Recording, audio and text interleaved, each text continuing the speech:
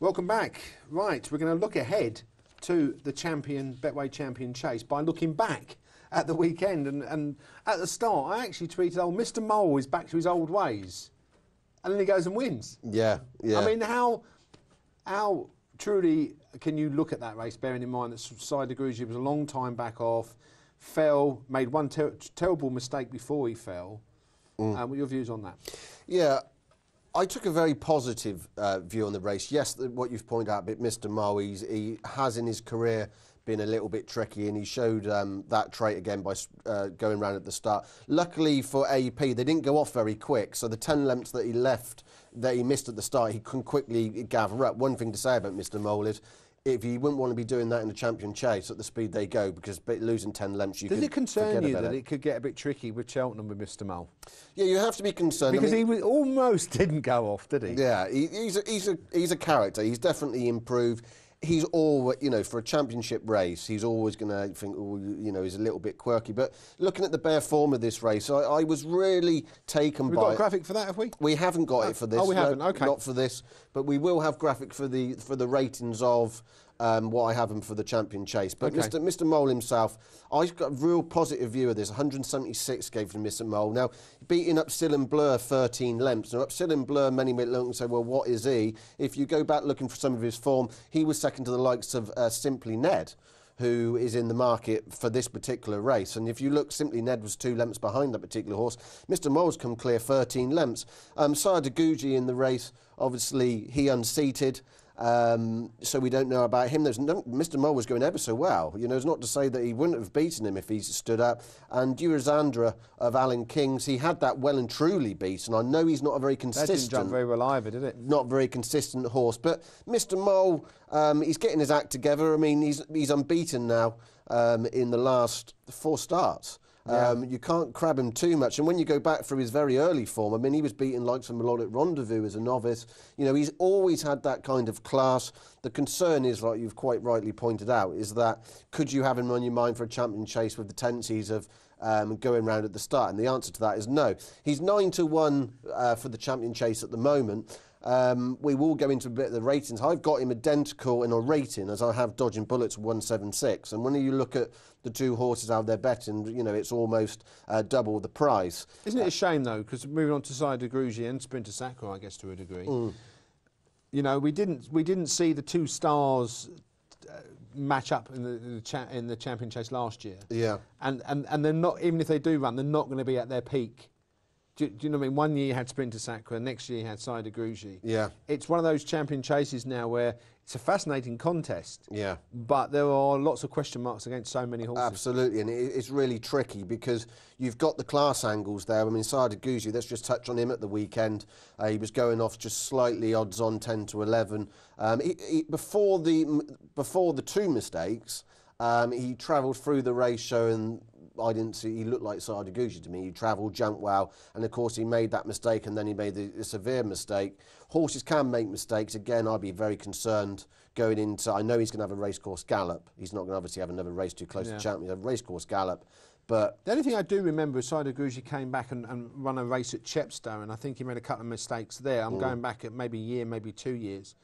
But it did improve after the first one. I think he may have made a mistake at Chepstow or certainly jumped badly and didn't win. I, I wouldn't give up on Sire De Grugy, but I was disappointed that when, um, you know, when push come to shove, it made a mistake and then made another mistake. yeah. And that the confidence, and you've got to worry about that when you see. At least with Sprinter Sacre, it jumped round. Sure. Side agrees you'd have that doubt in your mind. Yeah. The way it jumped. Should we get up the um, champion chase order? Yeah. Should we? Yeah, yeah. Um, that, here we go. Right. Now, your ratings. Now, these are the ratings for the Champion Chase contenders. Now, this is based on these horses' performance this year. So, the season of 2014 to 2015. So, because it's important for me when I'm looking at form, is that really what they've done last year or the year before really is irrelevant. So, these ratings are of what they've done this year. Now, Balder suc- success. Now he's obviously got a Ryanair entry. There's not sure that he's going to go for this race, but he has got an entry. He would be the top of them at 178.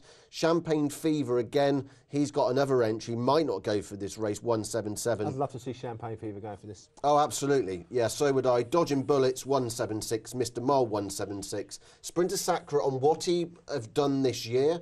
173. Obviously, last year, not last year, the year before, he performed to marks a stone higher than that for me. But that's irrelevant for me because he hasn't done that yet. And this is what he's shown us this year is a 173 mark. Hidden uh, Cyclone 172. And Sire De Grugy, I can't give a handicap mark to because obviously he fell. In terms of the race itself, um, and some other selections, well, we'll go on to your horses in a second. Let's talk mm. about um, Sprinter Sacre. Yeah. Um, where are you with Sprinter Sacre? Oh, he wouldn't be. You know, I've got this. I've got this big issue, and my my ex boss, who was a bookmaker, you know, and he drummed it into me that when horses have had setbacks or injuries, as a bookmaker, he would just take them on because he was under the. And I think it's right that any horse, you know, been at the top of their level to get them back to that. You know, once they've had that setback, it's a niggly thing, like any sportsman. You know, there's a question mark to say. He wouldn't necessarily have to get back to his best to win it, though. I think on that he'd have to improve obviously on his. Probably five or six pounds. Yeah, he's got, but, but not necessarily to the mark that he was before. I think yeah, I think um, he would have to. De- yeah, five. I think an improvement of five pounds would put him bang there. Um, bang there in the mix, and I think better ground. You might well you might well see that there was just that impression at Kempton. It was almost like uh, kid glove treatment that you know he didn't want to touch him he didn't want to do. And I think there's always like I think he's always going to be told Geraghty, even even at Cheltenham, look after him. You know, if there's any sign of him not being right, pull it. And I think there's always going to be a sense of that with him. Um, and for me, he's a horse that look he might well go and win, but it's a horse that I couldn't back on the day. Dodging bullets. Dodging bullets. Well, he's been, you know, dodging. He's a consistent one, isn't he? Out of, out of all the seasons so far, if you was to say, are there any questions about any of the form? You'd say there was none about dodging bullets. Yeah, well, I mean, this season he's been a revelation, really. I mean, he's two times Grade One winner. He wasn't really showing this form last year. He's a definitely big improver. On my rating, I've got him 176, which is bang up there. He's nine to two for this race. Do I think that represents any value at this time? No, I think he'll probably well be that um, on the day. Obviously, beating Sprinter Sacre last time um, by those three lights. Twinlight was in that race and obviously won um, the Tingle Creek. There's, there's I think Twin Light won today, by the way. Did he really? In Ireland, I think so. D did he really? I, yeah. haven't, seen, I haven't seen yeah, that. I might be totally wrong, but I, I thought I saw that in the glimpse. I haven't um, seen that. But mm. there, there's nothing not to like about dodging um, bullets, really. The only thing I don't like about him is the fact that he's 9 to 2. And as I said, from, from my assessment of horses at the moment, there is you know, four or five horses you could have around that mark. So I don't want to play 9 to 2 at all. But he is the one that hasn't got any question marks against it. Yeah, we're talking about we're talking about Mr. Mole. You know, on the day, will it will it will it start? Let alone run. Sire De Grugy question marks. Sprinter Sacre question marks. Dodging Bullets has got the one Absolutely. profile yeah. that hasn't. Champagne Fever. Now, Champagne Fever um, is planned to run at Ascot.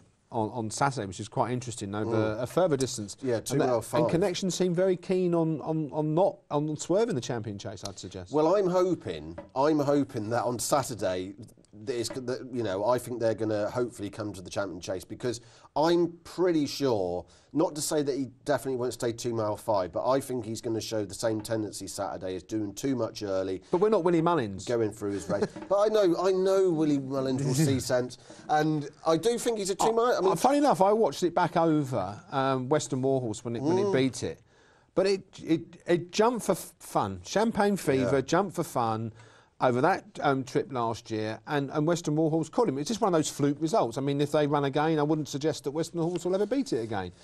But for the pace of that race, I mean, I know again against it was Trifolium, I think was in that race as well, and but it led, and and I can see, you know, if the connections decide to go for the champion chase, there isn't an obvious front runner in there, and he he could put them. A, Champagne Fever could put a lot of these in trouble.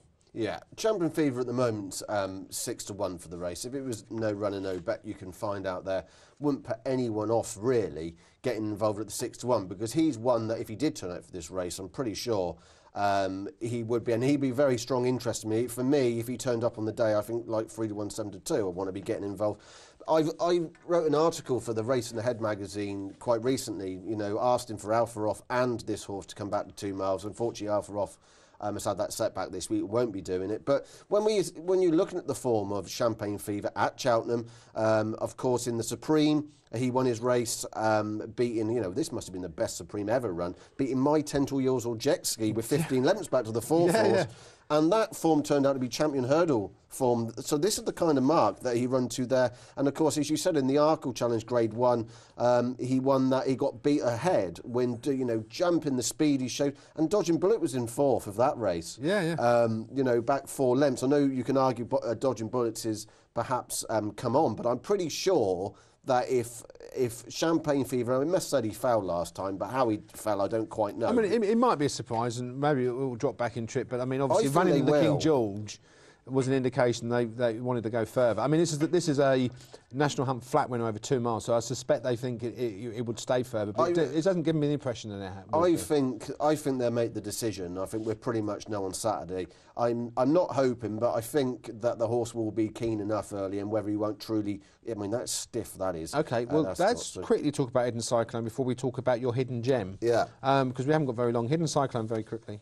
Yeah, Hidden Sight um, 14's one. He's a 10 year old. They've got a terrible record in the champion chase. I just thought he ran against Twilight last time. I know he was in receipt of quite a lot of weight, £8 for a five and a half length beating.